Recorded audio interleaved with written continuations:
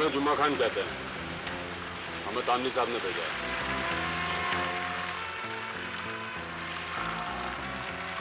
पापा को फूल पत्तों से बहुत प्यार था। आपको है? उन फूलों से है जिन्हें तुम्हारे पापा ने पैदा किया। साहब मुझे हमेशा से यकीन था कि तामली कभी ना कभी तो पैसा ज़रूर मांगेगा। और उनसे कहना कि मैं उनका एहसान भूला नहीं बोलो। कितने पैसे चाहिए? बरखुरदार तुम हमारी कद्र करो। दाम मत लगाओ। हम तुम्हारे पास कुछ मांगने या बेचने नहीं आए। वैसे तो तुम खरीद भी नहीं सकते। हम तो सिर्फ़ ये कहने आए हैं कि मार्केट में दो हीरे आए हैं और दो कौड़ियाँ हमारे हाथ लगी हैं। कौड़ियाँ? दो छोकरे। तुम्हारे जैसे ही हैं। वो तुम्हारी जगह भी हो सकते थे। तुम उनकी जगह भी हो सकते हो। हुआ क्या है? Let's get to the bloody point ये थे और है का फ़र्क मुझे बस समझाइए आप समझे? एक का नाम रवि गोसाई है। कहता है हीरे मिलने के बाद उसमें लालच पैदा हुआ और उसने अपना हिस्सा मांगा। गैंग लीडर जिसका नाम वो जोगी बताता है उसने मान लिया और हिस्सा दे भी दिया। हमें वो आदमी कुछ दिलवाला लगता है।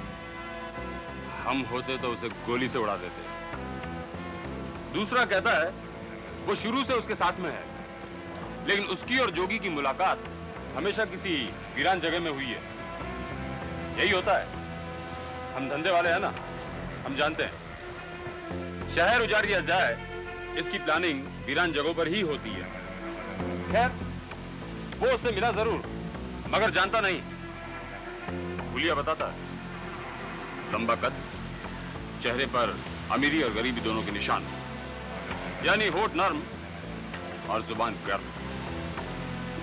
हमें भी डरा के रखा लेकिन डराने के लिए कभी बदतमीजी नहीं की देखिए करने को तो हम भी कर सकते हैं। लेकिन पुलिस करे तो बेहतर है। क्यों? क्योंकि पुलिस का जाल पूरे देश में फैला है। और फिर इंटरपोल भी है। लेकिन हम खान साहब हमारे आपके और उनके बीच में ये पुलिस वाले क्यों आए तो हम ही संभाल लेंगे। क्यों?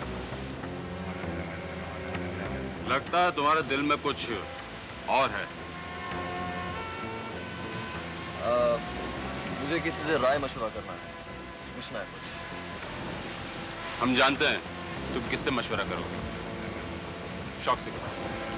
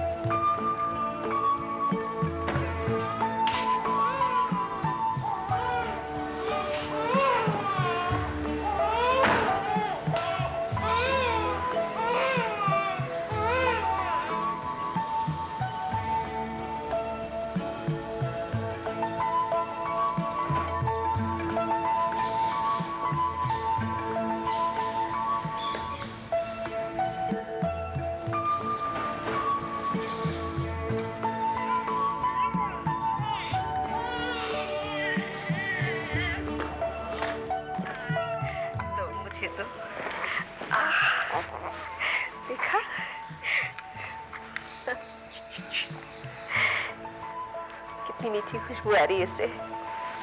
देखो तो कैसे मुस्कुरा रही है। पता है, जब बच्चे मुस्कुराते हैं तो आसमान में परियाँ पैदा हो जाती है। अब तक तो सौ पैदा हो गई होगी। वेलकम माय लिटिल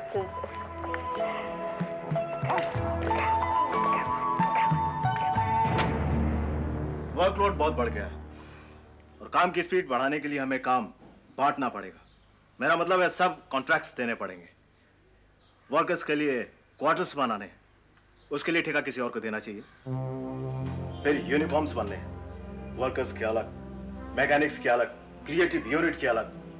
और ये सब यूनिफॉर्म स्टाइलिश होने चाहिए, ताकि कोई भी देखे तो उसे लगे कि ये सिलिकॉन वैली के साथ जुड़ा हुआ है। इसके अलावा इंस्टॉलेशन ऑफ़ मशीनरीज जतीन, ये यूनिफॉर्म के कॉन्ट्रैक्ट्स अर्पिता को दे सकते हैं? अर्पिता कौन? मेरी सहेली भूल गए क्या? उसने डिज़ाइनिंग का कोर्स किया हुआ है बहुत ही टैलेंटेड है। और उसे राहत भी हो जाएगी। प्लीज़ उसके हस्बैंड के साथ उसका समझौता हुआ क्या? नहीं डिवोर्स हो गया। जतिन इसलिए कहती हूँ मैं उसे कुछ हेल्प भी हो जाएगी और वो बहुत ही टैलेंटेड है। उसे बुला लो सच्ची? She'll be very happy and you won't regret it thank you Jatin. Gopal ये सारे पेपर सॉलिसिटर को दिखाओ। और उनका एग्रीमेंट बनवा लो। जी। सर मेरी एक राय थी। क्या? ये जो वर्कर्स के लिए क्वार्टर्स बनाने हैं और ऑफिसर्स के लिए कॉटेजेस बनाने हैं इसका कॉन्ट्रैक्ट हम नौसिल कॉरपोरेशन को दे दें? तुम्हारा दिमाग ठिकाने पे है। मैं उस नोसिल कॉर्पोरेशन की नीलामी की सोच रहा हूँ। तुम इन्हें कॉन्ट्रैक्ट दिलवाना चाहते हो? मैं भी उनकी नीलामी की सोच रहा हूँ सर। ये कॉन्ट्रैक्ट अगर आप उन्हें दे देंगे तो वो दब जाएँगे। ये क्वार्टर्स हम आदिवासियों की उस ज़मीन पर बनाएँगे, सर, जो नौसिल कॉरपोरेशन के कब्जे में आ गई है। और एक बार वो आपके दबाव में आ गए, फिर उनसे उस ज़मीन खरीदना आपको आसान हो जाएगा।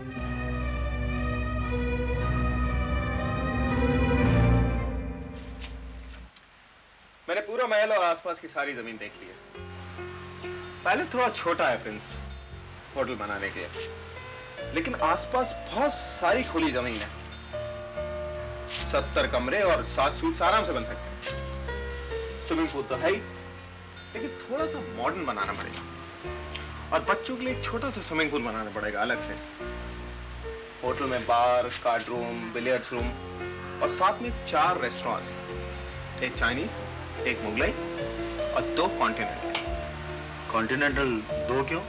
टूरिस्ट अट्रैक्शन प्रिंस दुनिया के सारे बड़े होटल्स टूरिस्ट की वजह से चलते हैं और पैसा कमाते हैं। और कल को तो ये भी हो सकता है कि हमें एक मैक्सिकन रेस्टोरेंट खोलना पड़े। और इतनी सारी जो ये खुली ज़मीन है ना इसमें हम एक हिस्से में गोल्फ कोर्स बना सकते हैं।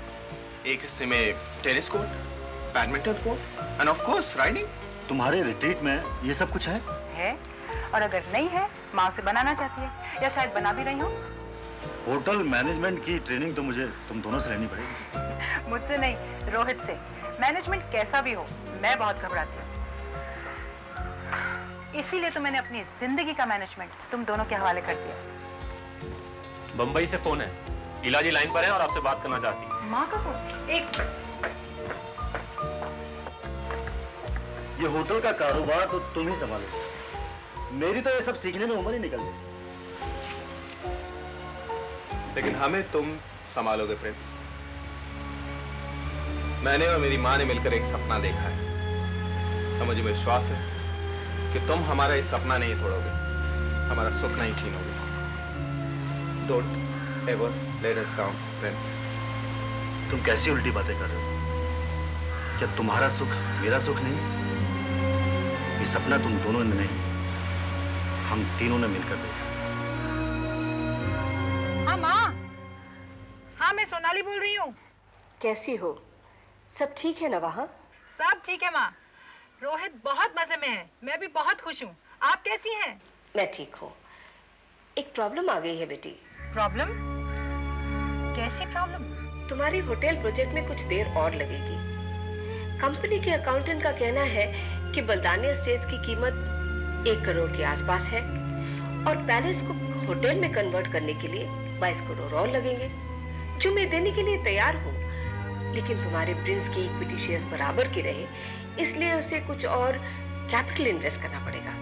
ये आप क्या कह रही हैं माँ? तुम्हें घबराने की कोई ज़रूरत नहीं है। दो ढाई करोड़ की बात है और वो फंड्स भी मैं इन प्रिंस के नाम ट्रांसफ़र कर दूँगी। लेकिन इसके लिए थोड़ा वक्त तो लगेगा ना? कितना वक्त? बस आठ दस महीने। मैं चाहती हूँ कि सब काम ठीक से हो। ताकि बाद में सरकार न तुम्हें परेशान करे और न मुझे। मैंने तुम्हें इसलिए फ़ोन किया था कि ये बात तुम प्रिंस के कान में डालो, कि मैं क्या कर रही हूँ, होटल किस तरह से बन रहा है, इसकी पूरी जानकारी उसे होनी चाहिए। और उसे ये भी कह देना कि उसे परेशान होने की कोई ज़रूरत नहीं है, पैसे की तो कमी नहीं है। तुम लोग आराम से रहो, चाहे वहाँ और चाहे यहाँ, समझ गई ना? हाँ माँ। समझ गई प्रिंस से बात ज़रूर कर लेना ताकि वो मिसअंडरस्टैंड ना करे ओके बाय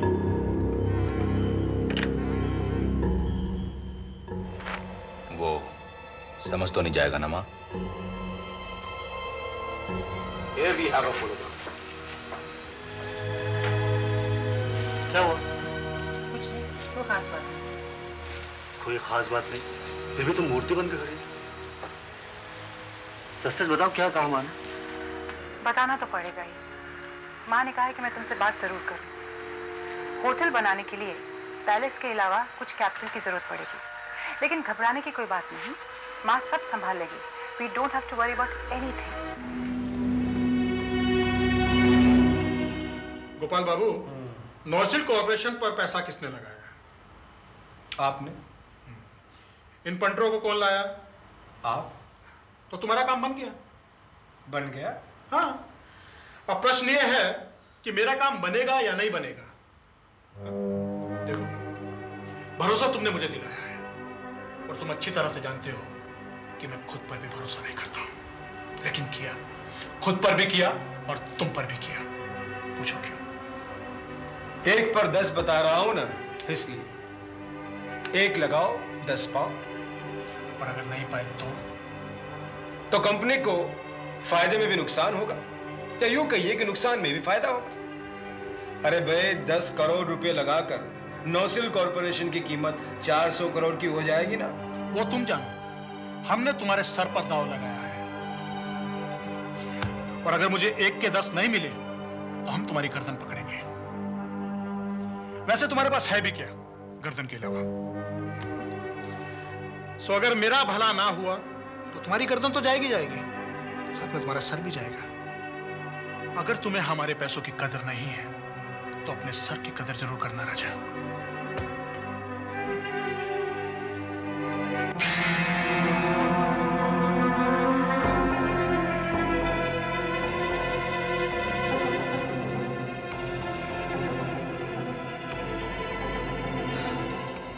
राजा जीत तो गोपाल की होगी। इसलिए नहीं कि वो ताकतवर है बल्कि इसलिए कि बाकी के सारे कमज़ोर हैं। अजीत आनंद तुम भी।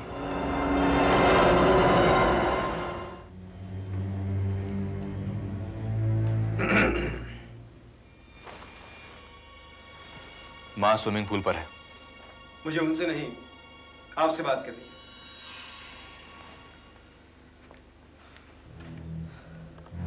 आई एम सॉरी सर लेकिन खबर बुरी है। तुमसे मैं और कुछ उम्मीद भी नहीं कर सकता। कहो। जतिन ने वर्कर्स के लिए रिहायशी मकान बनाने का कॉन्ट्रैक्ट नौसिल कॉरपोरेशन को दे दिया है। आई नो जानता हूँ मैं। लेकिन अब मेरा शब्द यकीन बदल गया है। उस कॉरपोरेशन के पीछे जतिन का हाथ है और किसी का नहीं। नहीं नहीं सर वो नहीं है। मैं पता कर चुका हूँ। दिल्ली का एक छोटा मोटा बिल्डर है। अजीत आनंद ये कॉरपोरेशन उसकी और उसके साथियों की है। जतिन की उससे कोई साठ गांठ होगी। अभी तो नहीं मगर जतिन उनको दबाव में लाने के लिए सारी हरकतें कर रहा था। मेरा एक सजेशन है सर अब बोल ही रहे तो बोलो।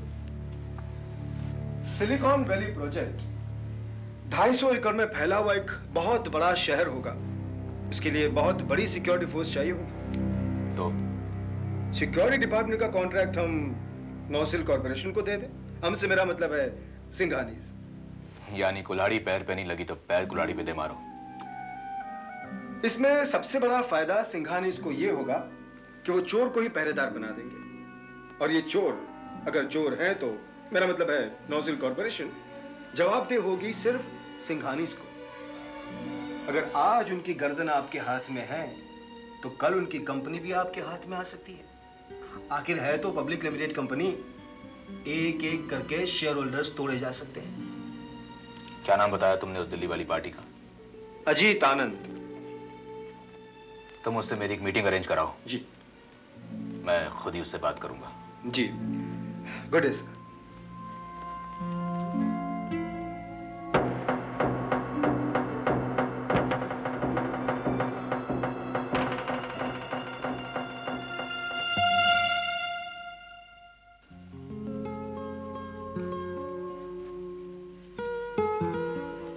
आज बहुत खामोश हो? सोच रहा हूँ। क्या सोच रहे हो? एक शेर सुनोगी? सुना उजाले अपनी यादों के हमारे साथ रहने दे। न जाने किस गली में ज़िंदगी की शाम हो जाएगी। शेर तो अच्छा है। पर क्या सोच रहे थे? देखो इला ज़िंदगी की शाम तो हो ही गई है। क्या ये ठीक नहीं है? एक्सक्यूज मी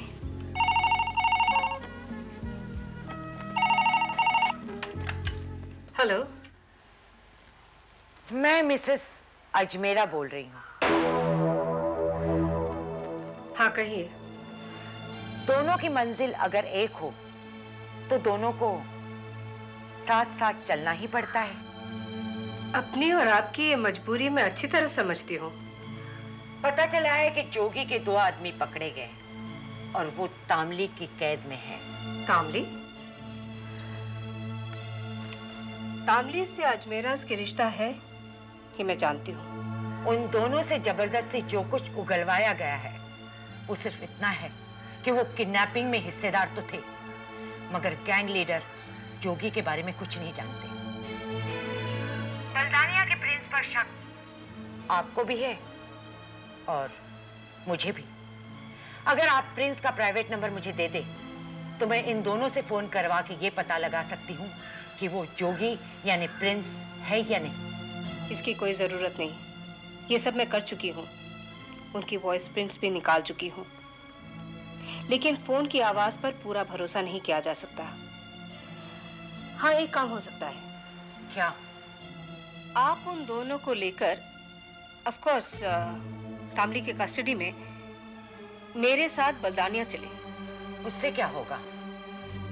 वो प्रिंस और भुवनेश को दूर से देखकर हमें ये बता सकते हैं कि उनमें से कोई जोगी है या नहीं।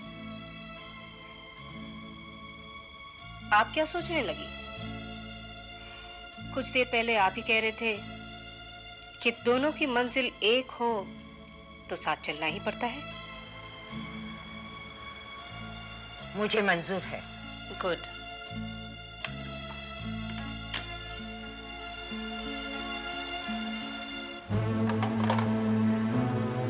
दोनों की नहीं ये सिर्फ़ मेरी मंजिल है। रिवेंज नहीं सेटिस्फैक्शन